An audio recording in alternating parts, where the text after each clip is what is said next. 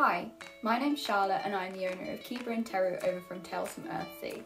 A lot of dogs display fearful behaviour during fireworks season and unfortunately Kiba fits into this category.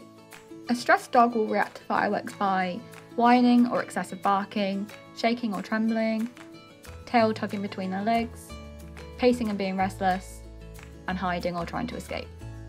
I prepare Kiba for firework night by exercising him early and also putting him on the lead during evening toilet breaks. I also use the Dorwest Scullcap and Valerian tablets two weeks prior to firework night I also put on a dog calming playlist on Spotify.